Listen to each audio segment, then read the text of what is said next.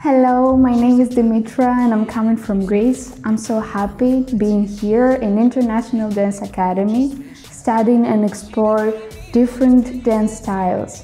Um, I started dancing when I was little and uh, my dance background was of it technical.